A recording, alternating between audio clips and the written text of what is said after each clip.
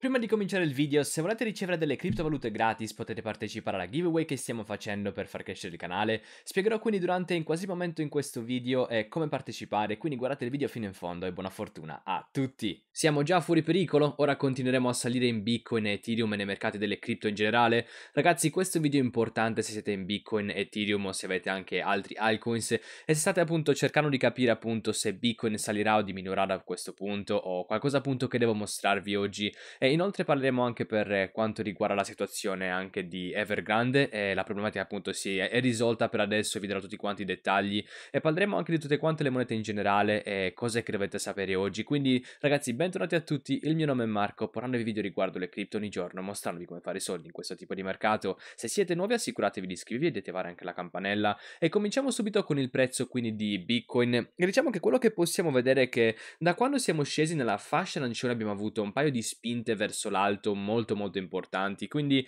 diciamo che andava dal basso, diciamo, verso l'alto e siamo saliti di una bella percentuale la prima volta, che era un 9%, il che è incredibile. E poi abbiamo avuto anche quest'altra spinta ancora, che era del 12%, quindi la nostra tesi che questo livello sulla linea rossa nella fascia arancione avrebbe resistito si è rivelato appunto essere vera. E quindi congratulazioni a chiunque sia entrato in un trade proprio qui. E ora, prima di parlare appunto della situazione di Evergrande, eh, parliamo di tutti quanti gli aspetti tecnici a cui dobbiamo prestare attenzione in questo momento. Quindi, prima di tutto i prossimi livelli di resistenza sono a 45.000 dollari e questo qua è su Bitcoin e poi 47.000 dollari e abbiamo poi anche la linea a 48.200 dollari ed infine abbiamo la resistenza più grande qua sulla fascia arancione che è a circa 50.000 dollari. Quindi se guardiamo anche le medie mobili per quanto riguarda Bitcoin diciamo che la situazione è questa, quindi abbiamo la combinazione della media mobile da 50 giorni e quella da 100 giorni che stanno a circa 45 o 46 mila dollari, quindi assicuratevi di guardare anche questi livelli durante la salita, dovremo appunto incontrarli, dovremo superarli.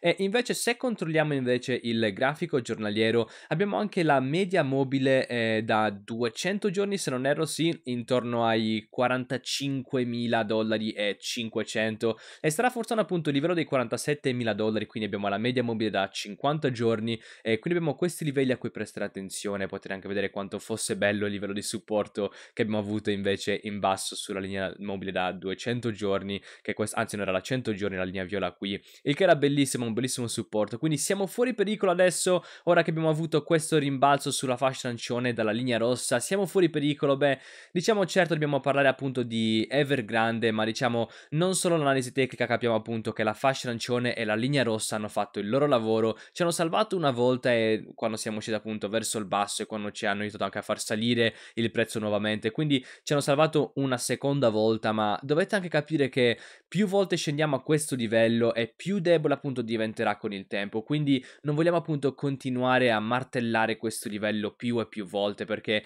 ogni volta che scendiamo qua giù questo supporto sta diventando sempre più debole e comunque diciamo ha compiuto il suo dovere ci ha salvato già due volte, ma Dobbiamo capire che non è probabile che si salverà e ci salverà appunto una quinta, settima, ottava volta se dovessimo riscendere, quindi assicuratevi di tenere d'occhio anche questo fatto. E a parte questo, a proposito, vorrei anche mostrarvi anche il trade appunto che ho fatto su Femex, ma appunto prima di, di mostrare appunto il trade per quanto riguarda ehm, che ho fatto su Femex, questo trade qui, vorrei parlarvi appunto di Evergrande perché c'è stato molto FOD qui, ma abbiamo visto anche qualche rassicurazione adesso, quindi la situazione situazione è che sono stati in grado appunto di pagare l'ammontare che dovrebbero, eh, avrebbero dovuto pagare oggi, quindi questo ha detto al mercato delle azioni probabilmente che questo problema si risolverà da solo. Non siamo però ancora fuori pericolo perché per quanto mi piacerebbe dirvelo, ricordate che le persone erano nel panico, le persone vi dicevano di vendere tutto perché stavamo andando a zero e vi ho detto appunto che questo probabilmente non era il momento appunto di vendere Bitcoin, probabilmente non dovreste vendere a livello di supporto. E ora appunto che le persone stanno diventando estremamente bullish, stanno anche dicendo che la situazione completamente risolta, ma non abbiamo nulla eh, appunto di, di, cui preoccuparci e per questo appunto vi dico di stare ancora un po' cauti perché non sappiamo come andrà a finire la questione, non è ancora del tutto risolto e anche se credo che questo non porterà a un enorme crollo dei mercati parlando appunto dei mercati delle criptovalute, diciamo che non siamo ancora fuori pericolo, ma non credo appunto che nel lungo termine, nel lungo periodo questo avrà un effetto enorme sui mercati in generale, ma diciamo che dobbiamo ancora essere cauti riguardo a questa situazione. Comunque sia, come sempre vi terrò aggiornato aggiornati. Ehm, adesso quindi vorrei parlare un altro po' per quanto riguarda Bitcoin e anche per quanto riguarda Ethereum, perché diciamo che sembrano entrambi ancora molto forti e un'altra cosa a cui dobbiamo prestare attenzione è che, come vi dicevo appunto nel mio video di ieri, voglio andare nel grafico settimanale e guardiamo appunto la EMA, quindi diciamo porterò via tutto quanto queste informazioni in più, guardiamo la EMA da 21 e ricordate come ho detto appunto ieri, dobbiamo vedere un rally, dobbiamo vedere un rally e dobbiamo appunto chiudere questa settimana in bellezza, abbiamo ancora un paio di giorni, dobbiamo chiudere questa settimana sopra la linea blu e per ora diciamo siamo sopra questa linea blu e quindi sembra buono ancora finora.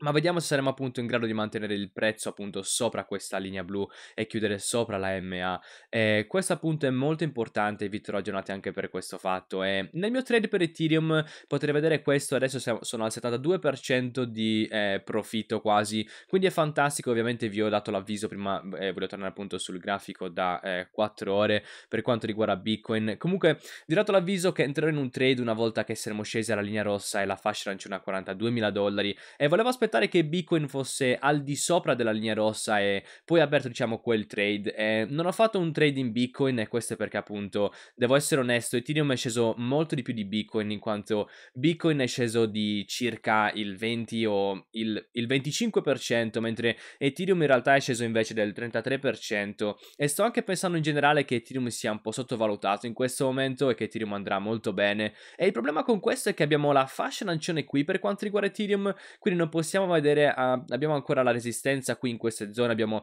la resistenza sul bordo della fascia arancione, quindi normalmente probabilmente prenderei appunto metà dei profitti a circa in queste situazioni, in queste zone, una volta che ci avviciniamo appunto a questo livello e poi continuare con il resto fino al prossimo livello di resistenza, fino ai 4.000 dollari. Ora un trade più pulito sarebbe quello di acquistare Bitcoin a questo livello e poi tenerlo fino alla prossima fascia arancione a 50.000 dollari e ora questo significherebbe da questo punto in poi sarebbe un guadagno eh, di circa il 20%, ma con Ethereum sarebbe molto meglio, quindi entrare in Ethereum e prendendo profitto al punto più alto sarebbe un trade di un guadagno di circa il 40% o 400% con la leva da 10%. Quindi questo era il mio processo di pensiero, forse andrò a prendere la metà del profitto qui su questa linea, forse lo farò, immagino che lo scoprirete appunto nel video di domani o se mi seguite su Twitter probabilmente lo vi aggiornerò anche lì su Twitter, ma il trade finora sta andando bene e la prossima volta che sto per entrare in un trade vi darà un avviso.